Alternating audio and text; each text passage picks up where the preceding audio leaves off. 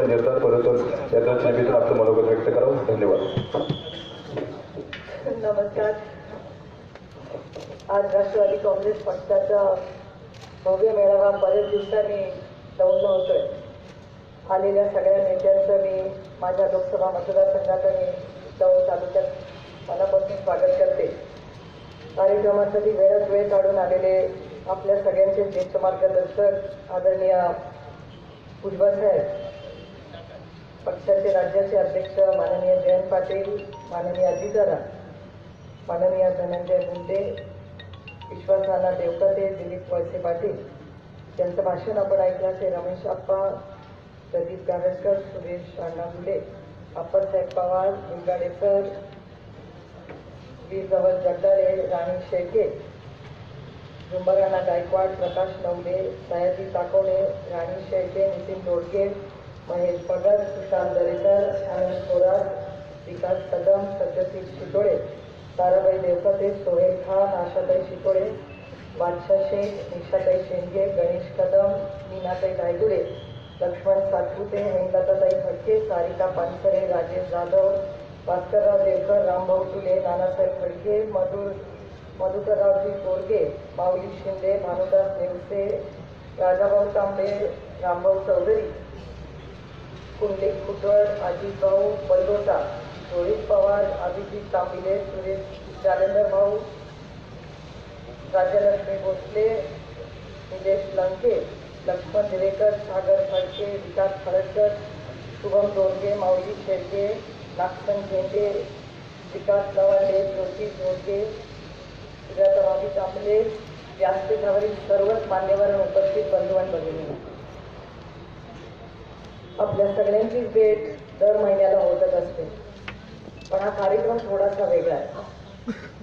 परिवर्तन व्हावं आणि लोकांचे प्रश्न मांडण्यासाठी राष्ट्रवादी काँग्रेस पक्षाचे सगळे वरिष्ठ नेते आणि आपल्या सगळ्यांचेच मार्गदर्शक हे संपूर्ण राज्याचा दौरा करतात. आणि आता दौरा आपल्या जिल्ह्यात आलेला आहे.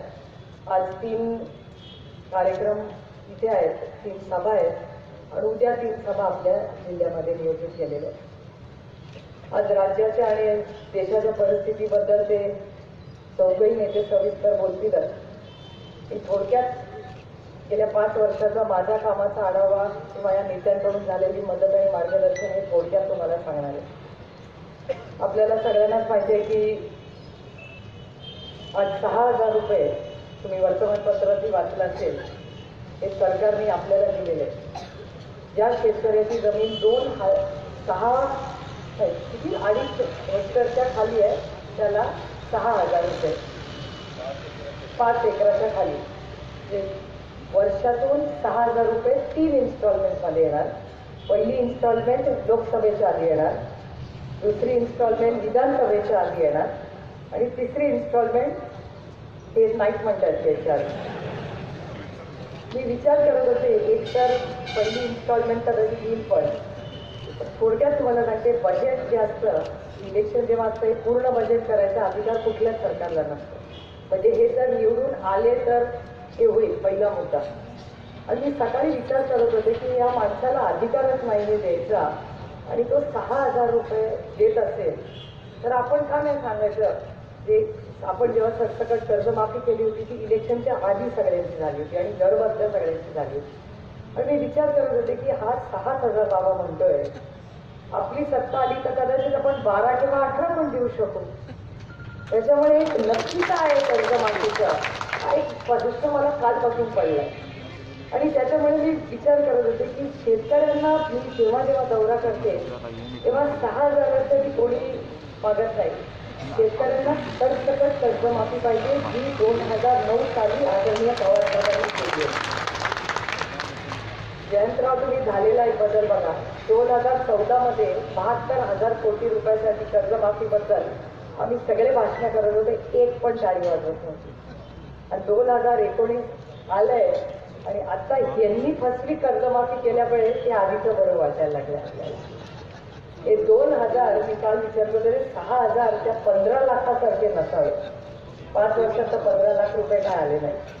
आणि काल आम्ही या सगळ्याचा आढावा घेत असताना सहा हजार रुपये म्हणजे महिन्याला पाचशे रुपये म्हणजे दिवसाला सतरा रुपये मिळणार आहेत आपल्याला. आपण रोजगार हमीच्या कामावर गेलो मी आणि नाना देवका त्याचा हिशोब करत होतो. रोजगार हमीवर आपण रोज एक दिवस काम केलं तर दोनशे पासष्ट रुपये आपल्याला मिळतात. म्हणजे महिन्याला आठ हजार किती झाले? सात हजार नऊशे पन्नास. म्हणजे तीस दिवस आपण काम केलं तर रोजगार हमीला जवळपास आठ हजार रुपये मिळत आहेत. आणि ह्यांनी रोज आपण किती कष्ट केले तरी वर्षाला सहा हजार रुपये महिन्याला पाचशे रुपये सरकार देते. आज झालं का काय आपल्याला? आणि मला सांगा पाचशे रुपये महिन्यानी ते कुणाचं भलं होणार दिले आनंदच आहे पण त्याला आणखीन एक दोन शून्य लागले असते तर जास्ती बरं झालं असतं आपलं आहे की नाही?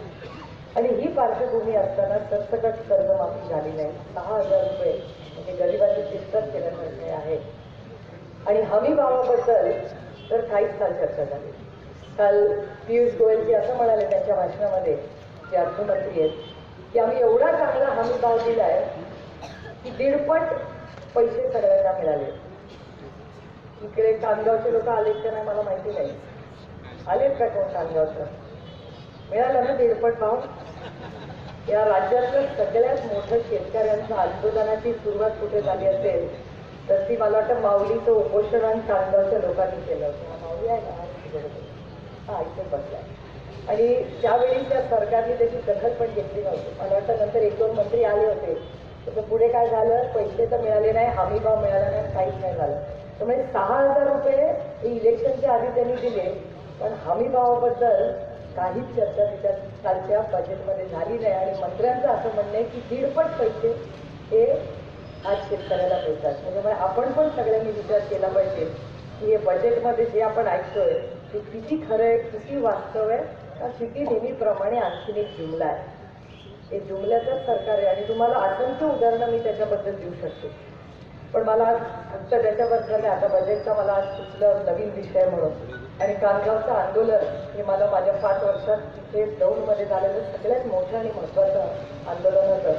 त्याच्यामागे दुसरं आंदोलन झालं होतं भामा स्टेटचं आंदोलन मला आठवलं अप्पांनी पाकिस्तानला गेलो होतो अप्पासाहेबांबरोबर तर मोठं आंदोलन केलं राहिलं आणि मागच्या आठवड्यात एका वर्तमानपत्रात पण बातमी आली होती की रमेश आप्पा आणि सुप्रिया त्यांनी कलेक्टरकडे मिटिंग घेतली पण त्याचं पुढे काही झालं नाही. मला त्या गोष्टीचं स्पष्टीकरण द्यायचं आहे. आपण त्या आंदोलनासाठी गेलो होतो पाकिस्तानला मला आठवत असेल बरोबर तर तो विषय कोर्टात आहे अजून. आणि कलेक्टरकडे त्याची सविस्तर मिटिंग एकदा नाही दोन वेळा झाली. आप्पांना मी परवाईची वाच बातमी वाचल्यावर फोन केला होता. आप्पा म्हणले मॅटर सबज्युडिस आहे. कलेक्टरकडे आपण फॉलोअप घेतलेला आहे. त्याच्यामुळे जोपर्यंत ती तारीख होत नाही तोपर्यंत त्याचा पुढे काही निर्णय होऊ शकत नाही. पत्रकारांनी या विषयाची नोंद घ्यावी. की त्याचं एकदा नाही दोन वेळा कलेक्टरकडे मिटिंग झालेली आहे. मी स्वतः माननीय मुख्यमंत्र्यांना सोशल मीडिया खूप हाऊस आहे. त्याच्यामुळे ट्विटर अकाउंट फेसबुक या सगळ्यावर मुख्यमंत्र्यांना पत्रही लिहिलेलं आहे या विषयाबद्दल. त्याचा फॉलोही झालेला आहे. पालकमंत्री फक्त आमच्या नसल्यामुळे जे सत्तेत आहेत तेच निर्णय घेऊ शकतात. विरोधक शेवटी फक्त मागणीच करू शकतो. एवढंच तुम्हाला गॅरंटी देते. जर दोन हजार एकोणीसमध्ये राष्ट्रवादी काँग्रेस पक्षाची सत्ता आली तर हा मार्केटचा सगळा प्रश्न आम्ही एक वर्षाच्या आत मार्गी लावून रेकॉर्ड करून ठेवा. तुम्हाला तुम्हाला जबाबदारी आणि या सगळ्या गोष्टी आज रेकॉर्ड आहेत. तुमचेही रेकॉर्डिंग चालले आहेत मोबाईलवर पण रेकॉर्ड होते. त्याच्यामुळे तुम्ही विचारू शकता सुप्रिया थोडी एक वर्ष झालं तुमची सत्ता येऊन काय झालं. त्याच्यामुळे ही माहिती असावी आणि विषय अतिशय संवेदनशील आहे. त्याच्यामुळे माझी पत्रकारांनीच विनंती आहे तुम्ही जेव्हा ती बातमी दिता तेव्हा थोडंसं माझ्याशी जर बोलला असता तर मी सविस्तर माहिती मी तुम्हाला देऊ शकले असते. त्याचबरोबर रेल्वेची कामं. आज नागसन भेटेची उपस्थित आहे व्यासपीठावर दरवेळी त्यांच्याकडे त्यांचं घर तोडायला लोक गेले. तिथे आजचा मला अर्जंट फोन येतो की ताई रेल्वेवाले आले आमचं घर तोडण्यासाठी. मला एक गोष्ट या व्यासपीठावर ऑन रेकॉर्ड सांगायची जोपर्यंत या भागाची मी खासदार आहे आणि लोकप्रतिनिधी म्हणून आहे रेल्वेत कुणाचीही सत्ता असू दे गेले दहा वर्षात एकाही घराला हात लावला नाही आणि ते जर ते निवडून आले तर मी जोपर्यंत लोकप्रतिनिधी आहे रेल्वेतलं एकही घर पाडलं जाणार नाही जबाबदारी माझी. दहा वर आधी आदरणीय पवारसाहेब हे काम करायचे गेले दहा वर्ष मी करते. एकदा नाही दहा वेळा रेल्वे मंत्रालयातले लोक गेल्या पाच वर्षात आले ते नवीन सरकार आल्यापासून. दरवेळीच माझं त्यांचं भांडण झालंय आणि त्यांना मी समजून सांगितलंय. आणि दरवेळी त्यांनी माझ्या शब्दाचा मान ठेवला त्याबद्दल मी चेअरमन रेल्वे बोर्डचे जाहीर आभार मानते. त्यांचं नाव लोहाणा त्यांचे माझे अनेक वर्षाचे चांगले संबंध आहेत काम करत असताना आधी ते वेगळ्या मंत्रालयात होते. कालही आता रोहन लोहाण्याचे रिटायर झाले नवीन अधिकारी आहेत. मी त्यांची कालच भेट घेतली होती. पण त्यांनी मला शब्द दिलाय की ही घरं सुटणार नाही. पण आपल्याला ह्याच्या पुढे जाऊन काहीतरी करायचं मला आठवतं सचिन आयर मंत्री होते आपली सत्ता असताना. तेव्हा आपण नवीन कॉलनी करायचा निर्णय घेतला होता. पण सत्ता गेली बजेट आलं नाही त्याच्यामुळे त्या गोष्टीला उशीर झाला. पण आपल्याला इथे लॉंग टर्म काहीतरी दरवेळी धाव घेऊन ती घरं वाचून हा काही मार्ग नाही. आपल्याला याच्यासाठी लॉंग टर्म काहीतरी उपक्रम राबवायला लागणार आहेत. ज्याच्यात आम्ही एक प्लॅन केलेला आहे आता बघूया कसा तो सोडवायचा हेही ठ- ठरवलेलं आहे. फक्त आता सत्ता जर आली तर तो मला हंड्रेड पर्सेंट इम्प्लिमेंट करता येईल. दुसरं आपल्या ट्रेनबद्दल बरंच चर्चा होत असते.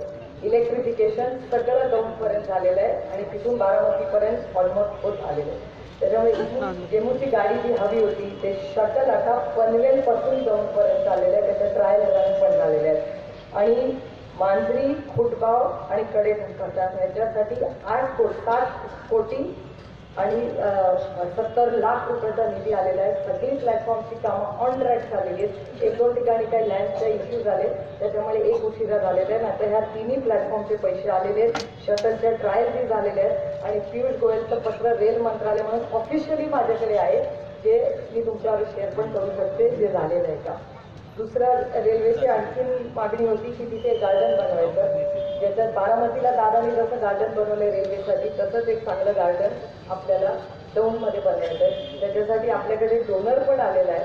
पण ती जमीन रेल्वेने ट्रान्सफर न केल्यामुळे त्या लोकांना ते पैसे मालकी रेल्वेचीच राहील. फक्त चांगलं गार्डन बनवायचं आपल्याला.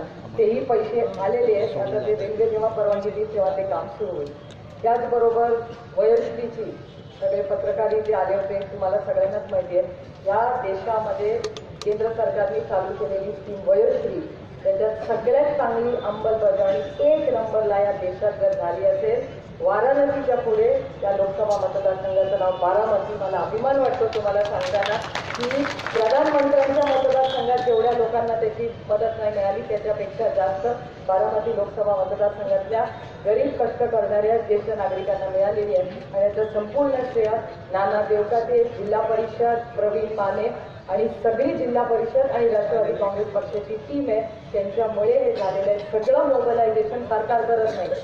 मोबलायझेशन लोकांना आणणं नेणं त्यांना वस्तू वाटणं हे सगळं आपलं काम असतं. सरकार फक्त वस्तू देते तुम्हाला.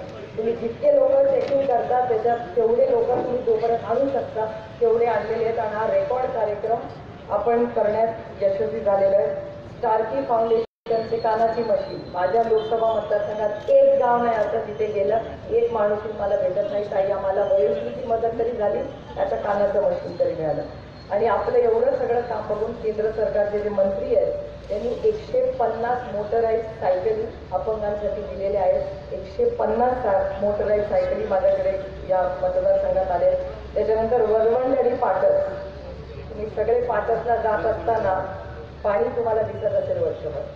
वरवंड आणि पाटसचं सगळं काम खोलीकरणाचं हे राष्ट्रवादी काँग्रेस पक्षाने केलेले आहे. आपले काही जे बरेच संबंध असलेल्या लोकांनी त्यांनी मदत केली आणि त्या दोन्ही ठिकाणी चांगलं काम होत आहे फिश मार्केटही त्या काळात आदरणीय पवारसाहेबांनी दिलं होतं. ते आता काम पूर्ण झालेलं आहे.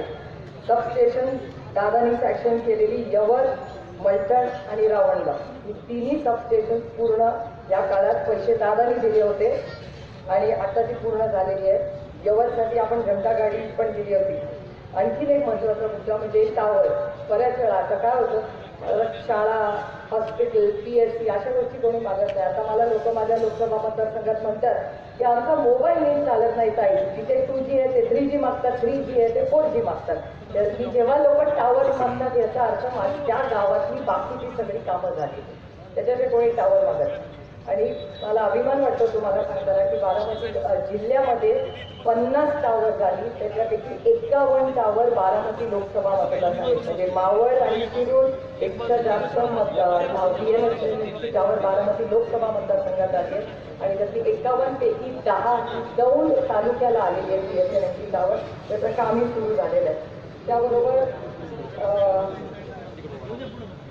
आपल्या सायकली तर तुम्हाला सगळ्यांनाच माहिती आहे सायकलिंगबद्दल मला फार काही तुम्हाला सांगण्याची गरज नाही. सायकल या तालुक्यात सगळीकडे दिसतात. माझ्या लोकसभा मतदारसंघात टाटा ट्रस्टच्या माध्यमातून चौदा हजार सायकलीचं डिस्ट्रीब्युशन पहिल्या टप्प्यात झालं. काम इतकं चांगलं झालं की टाटा ट्रस्टनी नऊ हजार नवीन सायकली द्यायचा निर्णय घेतला आणि बारामती लोकसभा मतदारसंघात पंचवीस हजार मुलींना सायकली त्याच्यामध्ये मिळालेल्या आहेत. त्याच्याबरोबर आशा वर्कर एकामधला कुठलाही लोकसभा मतदारसंघ नाही जिथे सगळ्या आशा वर्करला सायकली मिळाल्या आहेत. त्या आपल्या भागात करण्यात आपल्याला यश आलेलं आहे. त्याच्यामुळे या सगळ्या ट्रस्टनी आपल्याला एवढी चांगली मदत केली. याबद्दल मी त्यांचेही आभार मानते. बेबी कॅनलचं काम. देवी कॅनलचंही काम दादाच्या मार्गदर्शनावरही त्याच काळात पूर्ण झालेलं आहे. त्याच्यामुळे तिथे तुम्हाला सगळ्यांना माहिती काय परिस्थिती आहे. भीमा नदीचे सगळे जे गेट टाकले त्याचाही फॉलोअप आपण सगळ्यांनी मिळून केला होता. या भागामध्ये तुम्हाला माहिती आदरणीय पवार साहेबांनी त्यांच्या एन पी फंडमधून दोन कोटी रुपयाचे बंधारे फक्त दौंड तालुक्यात म्हणजे नाना देवका ते टाकतात ते आणखी वेगळेच आहेत. ते कदाचित पाच दहा कोटी रुपयाचे असतील. किती बंधारे टाकतात? आणि हे दोन कोटी रुपयाचे आणखीन वेगळे आलेले आहेत. अंगणवाड्या आणखीन एक रेकॉर्ड प्रोग्राम या देशामध्ये सगळ्या अंगणवाड्या बऱ्याच ठिकाणी आहेत पण प्रत्येक अंगणवाडीला वीज आणि पाणी हे नाही आहे आदरणीय जयंतराव या खात्याचे मंत्री अनेक वर्ष राहिले त्यांना डेटा माहिती आहे सगळा. पण एक जिल्हा परिषदच्या माध्यमातून नाना देवकांनी एक वेगळा कार्यक्रम आपल्या जिल्ह्यात घेतला. की शंभर टक्के अंगणवाड्यांना वीज आणि पाणी द्यायचा कार्यक्रम गेल्या सहा महिन्यात नाना देवकात यांनी घेतला. आणि दौंड तालुक्यामधल्या फक्त ज्या भाड्याने जागा घेतलेल्या आहेत त्या सोडून प्रत्येक अंगणवाडीमध्ये आज वीज आणि पाणी देण्यात आपल्याला यश मिळालेलं आहे. की माननीय मुख्यमंत्र्यांना एक दहा पत्र तरी लिहिलेली आहेत की अंगणवाड्या ज्या भाड्याच्या बिल्डिंग आहेत त्यालाही तुम्ही पाणी आणि वीज द्या पण त्यांचं अजून काही उत्तर आलेलं नाही. त्यामुळे त्याचाही पाठपुरावा आम्ही करतोय. त्याच्यामुळे हा एक मोठा कार्यक्रम म्हणजे हा जिल्हा देशात पहिला होईल पुणे जिल्हा हे काम करणार. तर अशी खूपशी कामं झालेली आहेत. गेल्या पाच वर्षात जरी आम्ही विरोधात असलो तरी अनेक वर्ष कलेक्टर असतील किंवा अधिकारी असतील यांच्याशी बरेच संबंध सत्तेत असताना ठेवल्यामुळे आजही सत्तेत नसलं तरी कामं होतात. कधी कधी मंत्र्यांकडे जावं लागतं पण माझी कामं जास्त केंद्र सरकारमध्येच असतात. आणि केंद्र सरकारमध्ये बारामती लोकसभा मतदारसंघाची कामं अजूनही होतात आणि गेल्या पाच वर्षात मी करण्यात मला बऱ्यापैकी यश आलेलं आहे. त्याचा सगळ्याचा लेखाजोखा तुमच्यापर्यंत पोचेलच म्हणजे आता पुढच्या एक दोन महिन्यामध्ये आपण तरी सगळ्या गावांमध्ये माझा दौरा झालेला ते आपण ते कार्यकर्ते सगळेच आहेत. पण एक गोष्ट त्याचा मी आवर्जून उल्लेख करेन. दोन हजार चौदामध्ये दौंड तालुक्यामध्ये आप्पांना किंवा मला अपेक्षित असं यश मिळालं नाही. पण दौंडकरांचे मी जाहीर आभार मानते की त्यानंतरच्या जिल्हा परिषदच्या इलेक्शनमध्ये फार मोठ्या बहुमताने दौंडकरांनी राष्ट्रवादी काँग्रेस पक्षाला पुन्हा एकदा पसंत दिली. आणि आज जिल्हा परिषदच्या माध्यमातून राणी शेवटे असेल त्याच्यावर गाव केली आणि दौंडकरांनी पुन्हा खरं आपलं जे नातं आहे किंवा जी नाराजगी होती ती दूर होऊन जिल्हा परिषदमध्ये नव्वद टक्के रिझल्ट आपला लागला. सात पैकी सहा जागा आज दोन महिला निवडून आल्या. पंचायत समिती आणि डुंबर अण्णांच्या माध्यमातून अतिशय चांगलं काम सभापती म्हणून ते करतात. मध्ये पाण्याची अडचण होती तेव्हा अतिशय चांगला दौरा करून कलेक्टरकडून अशा जिल्हा परिषदच्या माध्यमातून व्यवस्थित काम आज दौडमध्ये सगळ्यांना समाधान वाटेल असं चाललेलं आहे. माझा विश्वास आहे की रमेश आप्पांच्या बँकेमध्ये दादांनी रमेश आप्पांवर फार विश्वासाच्या नात्याने ती जबाबदारी टाकली.